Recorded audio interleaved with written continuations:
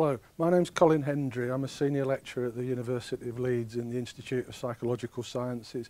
My expertise is an ethologist. I'm interested in animal behaviour and also human behaviour.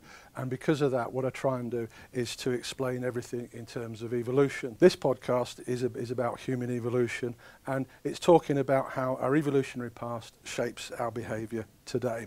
In this first slide, you can see a picture of Darwin and you can see a picture of his most famous book, which is, of course, The Origin of Species. And it's unfortunate with Darwin uh, because people look at him and whereas he's anti-religion in many people's eyes in the modern day, he actually looks a bit like a god or some sort of prophet or something like that. So um, what we need to do is to actually consider him in his own context. And um, firstly, to say that evolution isn't a religion. It's not uh, in competition with any uh, any religion whatsoever. It's a thought process. It's not even a theory about the origin of life. What it starts off with is saying life exists, and what we're going to talk about is then the process by which the evolution works on uh, works on that life. So the process works on a species as they strive and to struggle to survive and reproduce.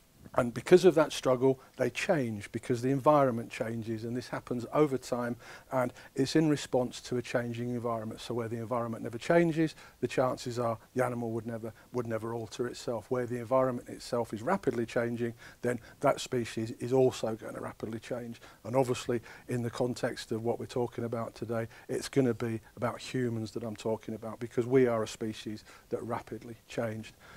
How did Darwin come to think about these things? How did he come to think of these things in the middle of the 1800s when his wife was extremely religious, when he was related to the, uh, the, the high-up clergy in, in the church? Well, it was because he was actually a poor student. He was a very bad student and he got moved from university to university.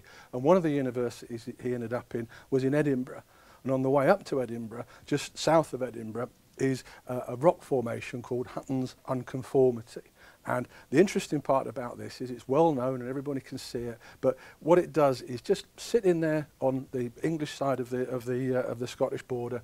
It shows you that the calculation of Archbishop Ussher that the world was created at 9 a.m. on October the 23rd, 4004 BC, probably wasn't correct because as you can see from the slide, you can see that there are upswellings, there are downswellings, that the rock's been moved around.